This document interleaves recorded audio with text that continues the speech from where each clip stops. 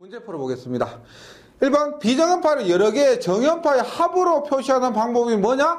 예, 푸리에 분석입니다. 푸리에 분석, 푸리에 분석. 2번 주기함수 ft의 푸리에 급수 전개식으로 옳은 것은 뭐요? a0 직류분 플러스 코사인 사인으로 이루어진 거. 답은 다입니다. 다. 맞죠? 3번 푸리에 급수에서 직류항은 뭐예요? 직류항은 우리가 A0, A1 즉 코사인과 똑같다고 했죠. 코사인과 똑같이 뭐 Y축 대칭입니다. Y축 대칭이기 때문에 코사인과 똑같이 보시면 우함수다.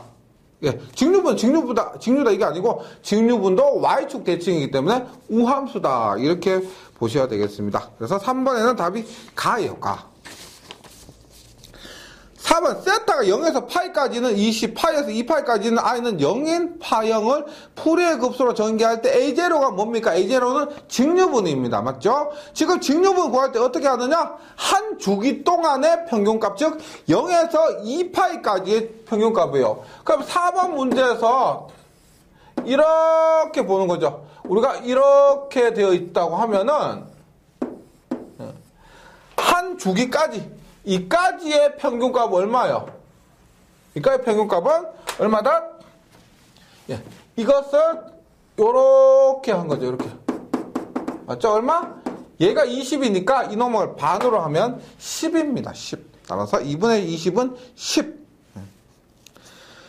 5번 반파 대칭 및 반파 대칭 뭐더라? 반파 대칭은 홀수 고조파만 있는 거죠, 맞죠? 그리고 사인과 코사인 모두 존재할 수 있습니다. 정현 대칭인 왜형파의 푸리에 급수에 전개해서 옳게 표시된 것은 정현 대칭은 사인파만 있고 반파 대칭은 홀수 고조파의 사인, 코사인 모두 존재할 수 있으니까 이것은 두 가지 조건을 모두 만족해야 됩니다. 따라서 사인항만 존재하는 겁니다. 원래는 홀수의 홀수 고조파의 사인항만 존재한다는데 여기에서는 보기에 있는 것 중에 찾으면 B에는 기수항, 사인항만 존재한다. 기수항이 사인입니다. 답은 라번이죠, 라번. 6번 비정음파 성분을 표시한 것이다. 일반적으로 표현으로 가장 바르게 된 것은 뭐냐? 직류분, 기본파, 고조파가 됩니다. 답은 다. 7번 주기적인 구형파 신호의 구성은 뭐냐? 주기적인 구형파 신호인데 얘들은 뭐라고 했나? 프루의 급수에 의해서 이게 뭐 어, 7번 문제에서 이쁜 구형파도 있겠죠. 뭐 이러한 구형파도 있겠지만은 뭐 이러 뭐 예를 들어 뭐 이러 이러 뭐 이런 구형파도 있을 겁니다. 예. 그러니까 위로 내려고 직류분이 더해진 것도 있고 직류분이 없는 것도 있고 이런 일반적인 구형파를 얘기합니다. 이런 것들은 뭐냐? 직류분, 기본파, 무수히 많은 고조파 성분으로 구성된다. 일반적인 비정한파를 묻는 거예요. 일반적인 비정한파. 뭐 기본 우리가 구조 구형파 2장에서 했던 그런 구형파라고 하면 직류분 없겠지만은 일반적인 구형파 혹은 비정형파에서는 직류분이 이렇게 존재하는 거고요. 일, 지금 문제에서는 주기적인 구형파 신호의 성, 구성원이라고 했지만은 예, 우리가 이해하실 때는 주기적인 비정연파의 구성원 이렇게 이해하시면 되겠습니다. 8번 비정연파에서 정연 대칭의 조건은 뭐냐? 정연 대칭은 뭐다? 정연은 사인파죠. FT는 마이너스 F에 마이너스 T가 됩니다. 8번에는 나번이 돼요. 정연 대칭 기함수. 9번 비정연파에서 여연 대칭의 조건은 어느 것인가? 여연은 뭐다? 9번 FT는 코사인입니다. 얼마? F의 마이너스 T가 된다. FT는 F의 마이너스 T. 답은 가번입니다. 10번 반파 대칭의 외형파에 포함되는 고주파는 반파 대칭은 뭐라고 그랬어요? 반파 대칭은 우리가 한 주기마다 반복된 방향을 갖는다. 얘는 홀수 고조파, 짝수 고조파, 뭐 홀수 고조파만 갖습니다. 코사인이고 사인은 모두 가질 수가 있는데 우리가 고조파는 홀수 고조파만 갖습니다. 따라서 홀수 찾는 거예요. 우리 이런 거 꽤 있습니다. 어, 반파 대칭에서는 1, 뭐 3, 5, 7, 9 이런 홀수 고조파니까 5고조파가 됩니다. 11번 11번 비사인파의 실효값은 어떻게 됩니까? 실효값은 제가 말로 썼었죠. 각 고조파의 실효값의 제곱의 합의 제곱근 말로서 외웠어요. 각 고조파의 실효값의 제곱의 합의 제곱근 각 고조파의 실효값의 제곱의 합의 제곱근 예, 제 목소리가 맴도시면 돼요. 각 고조파의 시로값의 제곱의 합의 제곱권. 이렇게요. 어, 그래서 11번은 답이 나아요, 나. 예. 12번. 12번 문제 어렵지 않죠? i는 30 사인 오메가 t 플러스 40의 사인에 3 오메가 t 플러스 45도입니다. 여기에서 시로값이라고 했기 때문에 크기만 보는 겁니다. 크기 아시죠? 크기만 보면 요놈과 요놈인데 앞에서 뭐라 그랬냐? 각 고조파의 시로값의 제곱의 합의 제곱권 루트의 얼마? 30의 시로값은 루트 2분의 30 40 얼마? 루트 2분의 40에 제곱하면 답은 25 루트 2가 나옵니다. 25 루트 2. 12번엔 답이 나예요, 나. 13번 볼게요, 13번. 지금 13번 보시면 파형이 지금, 음, 파형이 지금 이렇게 생겼는데요. 보세요. 이만큼 올라갔어요. 얼마만큼이냐? 지금 20만큼 올라갔습니다. 20만큼. 그리고 이놈의 최대값이 얼마냐? 60이에요. 60. 그럼 얘는 어떻게 되어 있냐면 보세요. 지금 얘가 V죠. V. V는 직류분 얼마 지금 봤을 때 정연파에서 210만큼 올라갔으니까 직류분 20 맞죠? 더하기 요놈 얼마요? 최대값이 60이니까 60에 쌓인 뭐 오메가 t 이렇게 될 겁니다. 따라서 이 비정연파 실효값은 얼마다? 각 고조파 실효값의 제곱 합의 제곱권 맞죠? 20 직류분 20의 실효값은 20이고요. 60의 실효값 얼마다? 루트 2분의 60입니다. 에 제곱 하니까 답은 46.90이 나오네요. 46.90. 46.90. 14번. 14번입니다. 전류가 1헬리의 인덕터를 흐르고 있을 때 인덕터에 축적되는 에너지는 얼마인가 라고 합니다. 지금 인덕터에 축적되는 에너지 공식부터 되죠. 인덕터에 축적된 에너지는 5장에서 썼습니다. 얼마? 2분의 1의 Li의 제곱입니다. 여기서 어, 인덕터에 축적된 에너지에서 지금 L은 1이라고 가르쳐 줬습니다. I가 얼마냐? I는 5 플러스 10루트 2에 플러스 5루트 2. 즉, 크기만 구하면 되기 때문에 뭐 뒤에 사인 오메가 이런 건 의미가 없죠. 따라서 I의 크기는 얼마? I의 크기는 루트의 5의 제곱 플러스 10의 제곱 플러스 5의 제곱이 얼마? 루트의 100, 150이죠, 150. 전류는 150입니다. 따라서 대입해요. 2분의 1에 L, 1 곱하기 I는 얼마? 루트 150에 제곱하니까 예, 계산하면 75줄이 나옵니다. 75줄. 14번에 축적된 에너지 75줄. 계속해서 15번입니다. 비정연파의 일그러짐의 정도를 표시하는 양으로서 외형률이라는 것은 뭐냐? 기본파의 시력값보다 고조파의 시력값. 기본파의 시력치보다 고조파의 시력치에서 다번이 됩니다. 다. 16번 볼게요. 16번. 기본파의 20%인 3고조파와 30%인 5고조파를 포함한 전류의 외형률은입니다. 외형률은 기본파분의 고조파예요. 지금 보시면 3고조파는 기본파의 20%, 5고조파는 기본파의 30%입니다. 그럼 기본파를 몇 프로로 잡고 기본파를 100%로 잡죠. 그 다음에 고조파는 얼마? 20% 30%니까 루트의 20의 제곱 플러스 30의 제곱입니다. 그렇게 하면은 외형률은 얼마다? 0.36이 되는 거죠.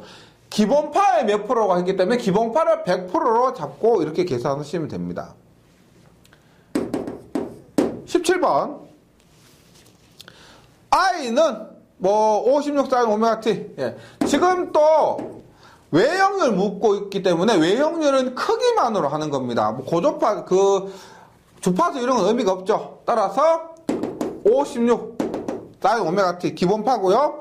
25 더하기 30 더하기 40이에요. 그러면 얼마? 외형률은 기본파분의 고도파입니다. 기본파 얼마요? 기본파 얼마? 56인데 실호값으로 하면 얼마야? 실호값 하면 루트 2분 56. 여기 분모 분자에 모두 루트 2로 나눠줘야 되기 때문에 실제로는 루트 2 안 해줘도 돼요. 근데 FM대로 하면 루트 실호값으로 계산하기 때문에 루트 2를 나눠준 겁니다. 얼마? 얘는 루트 2분의 25 제곱 고도파도 구하는 방법 이렇게 되죠? 루트 2분의 30의 제곱 루트 2분의 40의 제곱을 하면은 답이 1이에요. 1. 1.0. 계산해 보시면은요. 뭐 계산기로 두드려 보시면 1이 될 겁니다. 1. 1.0. 18번 볼게요. 18번. 18번. 음, 봅니다. 지금부터는 18번 문제부터 전력이죠, 전력. 전력이니까 각 고도파 성분을 따져보셔야 되는데, 피상전력이냐, 유효전력이냐를 잘 보셔야 됩니다. 근데 대부분은 유효전력이 많이 나와요. 유효전력이 더 어렵기 때문에 유효전력이 많이 나옵니다. 보면 인원, 인원, 볼게요. 어, 100사인 오메트. 오메트 플러스 20에. 3 오메가트 플러스 3분의 8. i는 40에 오메가 t 마이너스 6분의 8 플러스 5 오메가 t 5배 사인은 3 오메가 t 일반적인 문제입니다. 근데 여기서 실수를 하기 전에 실수를 안 하려면은 이거 쓰셔야 돼요. 오메가 t니까 1, 3 오메가 t니까 3. 오메가 t니까 1, 3 오메가 t니까 3. 지금 묻는 것은 소비되는 전력은 유효 전력입니다. 따라서 각 성분끼리 하시면 돼요. 얼마? 기본파, 기본파끼리 얼마요? 100이고 40이니까 실호값은 루트 2분의 100 곱하기 루트 2분의 40. 코사인은 전압과 전류 위상차 얼마예요? 전압은 0도고 전류는 6분의 8은 30도죠. 맞죠? 두 개의 위상차는 30도. 3고점화 봅니다. 루트 2분의 20. 루트 2분의 5. 코사인은 60도와 12분의 8은 15도죠. 맞죠? 따라서 45도입니다. 그래서 두 개를 더하면, 음, 두 개를 더하면 1700. 67W랍니다. 예. 얘는 뭐 계산기로 맡기시고요. 1767W가 된다. 네. 예, 계속해서 뭐 19번 문제 전력 문제인데 예, 똑같은 방법으로 풀어봅니다. 어, 지금 19번 문제에서도 단위가 와트죠. 유효 전력입니다. 유효 전력. 그래서 19번 문제도 보면 이는 100루트 2에 어, 오메가 T 플러스 30. 어, 플러스 50루트 2 사인에 오메가 T 플러스 60. 네, 이렇게요. I는 15 루트 2. 사인은 3 오메가 T 플러스 30에 플러스 10 루트 2. 5 오메가 T 플러스 30입니다. 30. 그러면 씁니다. 오메가 T니까 기본파, 5 오메가 T니까 5고조파, 3 오메가 T니까 3고조파, 5 오메가 T니까 5고조파가 됩니다. 그렇죠? 그러면 전력을 구할 때 뭐? 1고조파 짝이 없죠? 짝 없는 거 무시하고 3고조파 짝이 없죠? 짝 없는 거 무시합니다. 그럼 P는 얼마다? 5고조파만 짝이 있죠. 얼마? 50루트 2의 실호값 50, 10루트의 실호값은 10. 코사인은 얘는 60도, 얘는 30도니까 두 개의 위상차는 30도가 됩니다. 얼마? 500 곱하기 2분의 루트 3 하면 250 루트 3이 된다. 19번에는 250 루트 3입니다. 19번에요. 20번. 20번. 예, 얘는 뭐 비정연파 아니죠. 비정연파 아니고 일반 정연파인데 뭐요? 2는 100에 사인에 108t 플러스 6분의 8 i는 10에 코사인에 108t 마이너스 3분의 8입니다. 여기에서 소비 전력인데 여기서 묻는 건 뭐냐? 코사인이니까 두 개의 위상차를 구할 수가 없습니다. 즉 봅니다. P는 문제에서 소비 전력, 유효 전력이니까 얼마? 루트 2분의 100 전류 루트 2분의 10 보세요. 코사인은 얘는 사인의 6분의 파인데 얘는 코사인의 마이너스 3분의 파예요. 코사인을 사인으로 바꾸면 얼마? 플러스 90을 해주면 되죠. 마이너스 3분의 파이는 마이너스 60이에요. 마이너스 60에서 사인으로 바꾸고 90을 해주면 플러스 30도가 된다는 겁니다. 즉 10의 코사인 100파이 t 마이너스 3분의 파이를 사인으로 바꾸면 10의 사인의 100파이 t 플러스 30이 되는 거죠. 그럼 여기도 플러스 30, 전압도 6분의 파이는 플러스 30. 둘 다 플러스 30이니까 위상차는 0도가 됩니다. 0도. 따라서 얼마요? 1000 나누기 하니까 얼마? 500와트가 된다. 소비 전력은 500와트입니다. 이렇게. 계속해서 21번 문제 한번 가봅니다. 21번 문제는 예. 뭐냐? 음, 21번.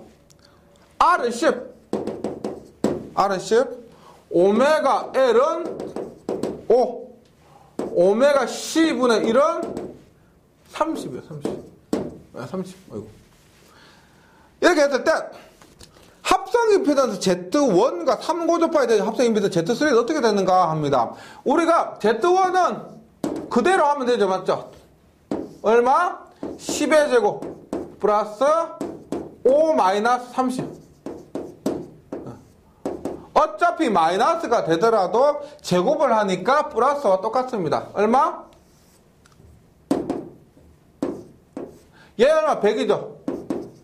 100 플러스 5 마이너스 30 하면 20 마이너스 25인데 마이너스 25 제곱하면 25 곱하기 25 하죠. 25 곱하기 25면 625입니다. 625. 그럼 얼마? 루트에 725가 돼요.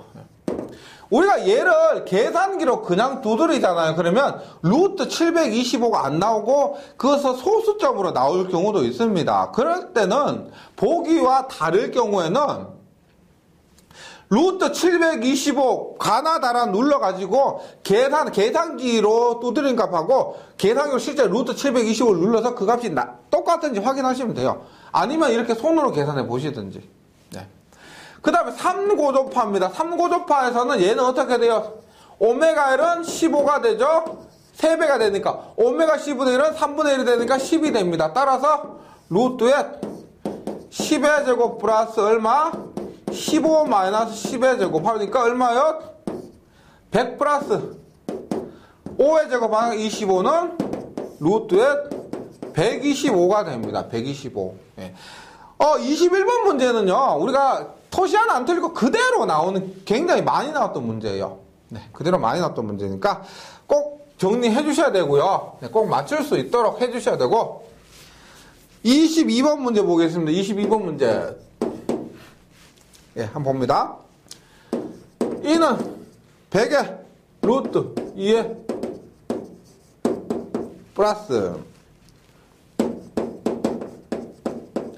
75 루트의 사인에 3 오메가 t 플러스 20 루트 2의 사인 5 오메가 t가 됩니다. 5 오메가 t 이때 3고접파 전류 실어치는 우리가 이런 문제 할 때는 이렇게 보세요.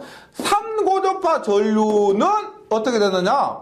3고접파 전류는 지금 보시면 사이오메가 기본파 3고조파 5오메가 T니까 5고조파인데 3고조파를 묻는다고 하면 3고조파 임피던스 분의 3고조파 전압이에요. 그러니까 3고조파만 따로 생각하시면 됩니다. 그러면 전압은 얼마예요? 다른 거 필요 없다는 겁니다. 3고도파 전압 75. 3고도파 전압 75. 3고도파 임피던스 봅니다. R은 4. 예. 오메가 L을 1이니까 3고도파가 되면 얼마예요? R은 4, 오메가 1은 3이 됩니다. 맞죠? 그럼 3고도파에서 임피던스는 얼마예요? 3이고 4니까 임피던스는 루트 3의 제곱 플러스 4의 제곱 하면 얼마? 5가 되죠. 따라서 3고조파 전류는 15가 됩니다. 그러니까 우리가 이렇게 전력을 물었을 저 고조파 전류를 물었다 하면 그 해당 고조파만 하면 됩니다. 3고조파 하는데 기본파나 5고조파는 의미가 없다는 거죠. 예, 무시하셔도 된다는 거예요. 23번 봅니다. R은 4, 오메가 1은 3의 직렬 회로에 R은 4, 오메가 L은 3입니다. 이때 어, E는 루트 2에 사인 오메가 t 플러스 50루트 2에 사인의 3 오메가 t예요. 이때 회로의 소비 전력은 얼마냐? 소비 전력은 유효 전력입니다. 소비 전력은 유효 전력이에요. 그러니까 우리가 앞에서 문제 풀 때 있죠. 앞에서 문제 풀 때 유효 전력은 각 고조파 성분끼리라고 했습니다. 맞죠? 기억나시죠? 근데 그때는 전압과 전류를 줬기 때문에 어렵지 않게 풀었습니다. 전압의 기본파, 전류의 기본파, 전압의 상고도파, 전류 상고도파 이렇게 했었습니다. 그런데 지금 여기서는 전류를 안 주고 임피던스를 줬다는 거죠. 그러면 우리가 유효 전력을 구하라고 하기 때문에 각 고도파끼리 계산하는 건 맞습니다. 근데 거기 그때 전류 대신에 임피던스를 대입하면 된다는 거죠. 보세요. 얘는 기본파죠, 기본파. 네. 기본파입니다. 그러면 기본파에 대한 전력 P1은 어떻게 되느냐? 기본파에 대한 전력은 얼마냐? I 제곱 R이죠. 맞죠? I가 얼마요? 임피던스 얼마? 3이고 4니까 전류는 얼마? 임피던스면 전압이 얼마? 에 이렇게 할게요. 루트 4의 제곱 플러스 3의 제곱 분의 임피던스면 전체 전압 100이죠. 맞죠? 어의 제곱 이게 뭐냐? 전류의 제곱 곱하기 저항 얼마요? 저항은 4가 됩니다. 4. 그래서 기본파에 대한 전력이 이렇게 구할 수가 있습니다. 이렇게 구하면 얼마가 된다? 1600와트가 됩니다. 1600와트. 그럼 3고조파에 대한 거부터 구하죠. 3고조파에 대한 거 보세요. P3는 똑같이 I제곱 R입니다. 얼마? 이때는 임피던스가 얼마요? 오메가 1이 3이었는데 3고조파 되면 주파수가 3배가 되니까 얼마? 3 하면 9의 제곱이 되는 거죠. 9의 제곱이고 전압은 50. 예. 전류의 제곱 곱하기 저항값은 3고주파 되고도 변함이 없죠. 곱하기 4를 하는 겁니다. 그래서 4제곱 이거 계산해 보시면 103이 돼요. 103. 네. 그래서 전체 전력은 어떻게? 1600과 103을 더해서 1703W가 됩니다. 1703W. 그러니까 우리가 유효 전력은 각 고조파 성분끼리 하는 건 맞는데 앞에서처럼 전류가 주어지면 전류로 간단하게 할 수가 있는데 이렇게 임피던스가 주어지면은 이 리액턴스 값을 주파수에 맞춰서 변경해서 계산해야 된다는 겁니다. 예, 그거 기억해 주시고 24번입니다. 24번.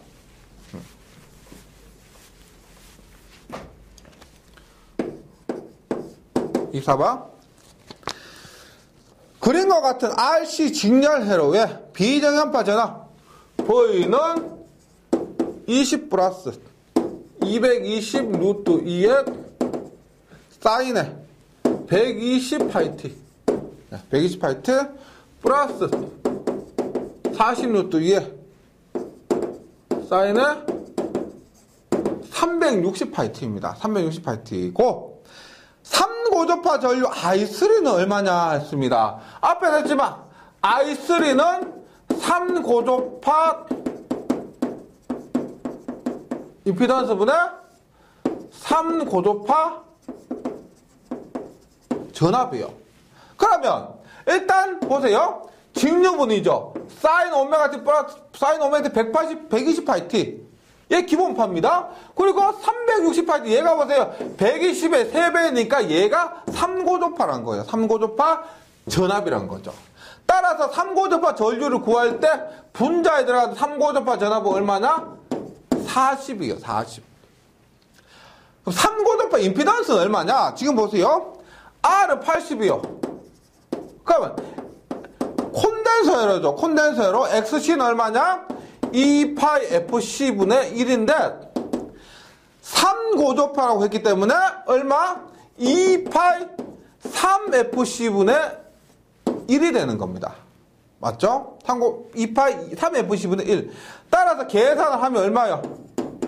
2파이 곱하기 3 곱하기 어, 지금 주파수가 얼마예요? 주파수가 음, 예, 주파수가 지금 60이죠, 60 맞죠? 지금 요게 원래 뭐예요? 120파이트일 때 앞에 2장에서 했죠? 120파이트하고 377일 때 60Hz입니다.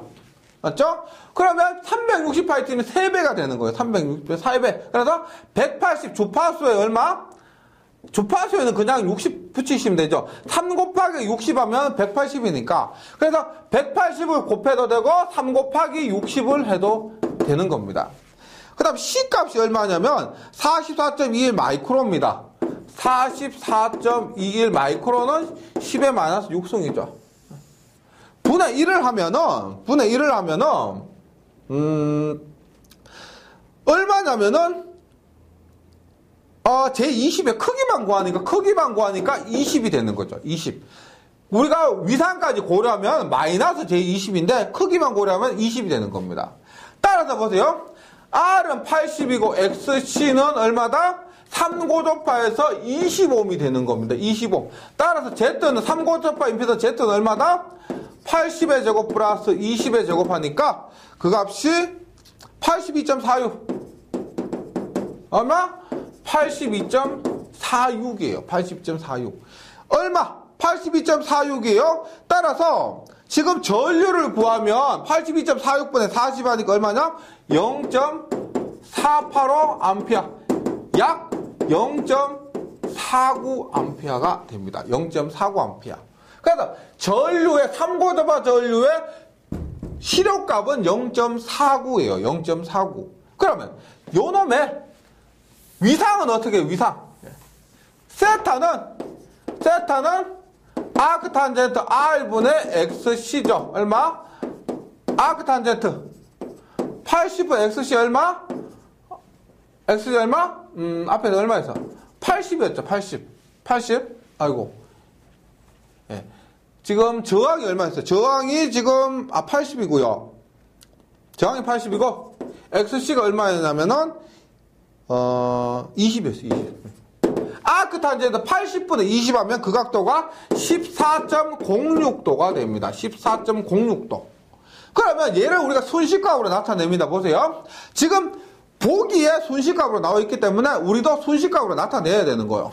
일단 실효값이 0.49니까 상고접파 전류의 순식값 얼마? 0.49에 이 자리에 최대값이 나와야 되죠. 0.49 루트 2. 그 다음에 사인에 3고 접하니까 똑같이 360파이트가 돼요. 또 그리고 RC 회로에서는 전류가 전압보다 앞서죠. 우리 위상 세타가 14.06인데 RC에서는 전류가 앞서기 때문에 얼마가 된다? 14.06이 플러스 14.06이 되는 겁니다. 즉 전압보다 전류는 14.06 앞선다라고 해서 그래서 답이 몇 번이에요? 0.49 루트 2에 사인은 360파이 t 플러스 14.06에 04죠, 04. 예. 04. 어, 여기 04네, 04. 예. 음, 14.04도 아, 이건 아니고, 예. 이 세타가 14.04입니다. 정확하게 14.04에서 14.04. 답은 라번이 됩니다. 라번. 네, 이 4번은 약간 뭐 지금까지 나오던 문제하고 조금 틀린데 뭐냐면 XC를 주지 않고 콘덴서 값 자체를 줬기 때문에 조금 계산 방법이, 방법이 복잡하긴 한데요. 크게 벗어나는 건 아닙니다. 우리가 2장에서 배웠던 거, 그 다음에 이번 장에서 배웠던 것을 합해 놓은 것. 그래서 실력 향상 문제로서는 괜찮은 문제입니다. 25번. 예, 얘는 뭐라 그랬어요? RLC 진열공진 회로에서 N 고조파의 공진 주파수 FN은 얼마냐라고 했습니다. 우리가 일반적인 공, 그, 고조파가 아닐 때는 얼마요? FC는 2파이 루트 LC분의 1인데, 고조파, N 고조파에서는 N이 들어갑니다. 2파이 N 루트 LC분의 1. 2파이 N 루트 LC분의 1에서 답은 답번이 됩니다. 26번. 일반적으로 대칭 3상회로의 전압전류에 포함되는 전압전류의 고조파는 N을 임의로 정수를 해서 3N 플러스 1. 우리가 3N 플러스 1은 뭐예요? N에 0 대입하면 1, 4, 7, 10 고조파들이에요. 우리가 1 고조파가 뭐예요? 우리가 기본파죠. 그리고 따라서 얘들은 뭐라고 한다? 정상분이라고 볼 수가 있습니다. 정상분. 정상분. 따라서 얘는 상회전과 기본, 상회전은 기본파와 동일하다. 정상분은 상회전이 기본파와 동일하다. 해서 어렵지 않게 찾을 수가 있습니다. 27번 볼게요, 27번. 27번. 대칭 3상 전압이 있다. 한 상의 Y 전압에 Y 거선이라는 거예요. 순식값이 V가 1000 루트 2에 사인에 오메가 t 플러스 500 루트 2에 사인에 3 오메가 t 플러스 20 플러스 100 루트 2에 사인에 5 오메가 t 플러스 30 예, 봅니다. 지금 성상전압, 성상전압, 상전압과 선간전압, 성상전압 그냥 상전압을 보시면 돼요. 선간전압의 B는 얼마냐? 보세요. 상전압은 얼마요? 상전압은 이게 한 상의 전압이에요. 그래서 다 계산하면 됩니다. 천의 제곱 플러스 500의 제곱 플러스 100의 제곱이에요. 천의 제곱 플러스 500의 제곱 플러스 100의 제곱 하니까 그 값이 음 예, 뭐 계산으로 해보시고요. 그 다음 중요한 선간전압인데 선간전압에서는 두 가지를 기억해 주셔야 됩니다. 지금 얘가 3고조파인데 3고조파는 선간에 나타나지는 않는다고 했죠. 3고조파는 선간에 나타나지 않습니다. 따라서 어떻게? 기본파와 이 5오메가 5고조파만 하시면 돼요. 1000의 제곱 더하기 3고조파 선간전압에 포함되지 않습니다. 얼마?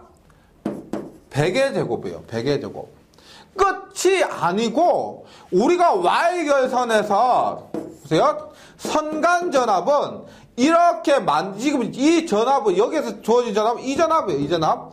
이 전압에서 얼마? 선간전압은 루트 3을 곱한 것이죠. 맞죠? 그래서 루트 3 곱해줘야 됩니다. 선간전압은 상전압에 루트 3 곱해줘야 돼요. 그래서 나누기를 해요. 예. 그래서 선간 전압 계산해서 상전압, 상전압 계산해서 선간전압으로 나누면 그 값이 0.64가 됩니다. 0.64.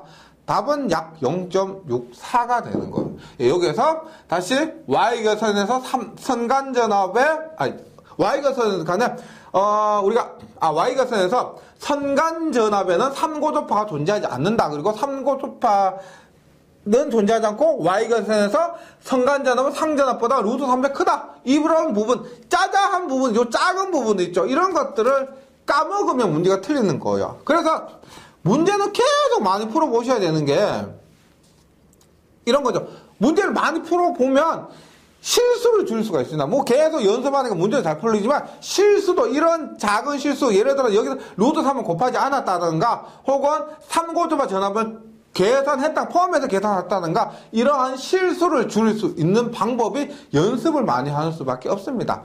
네 여기까지 9장 비정형파 교류 잘 정리해 주시고요. 저는 10장에서 다시 뵙도록 하겠습니다. 수고하셨습니다.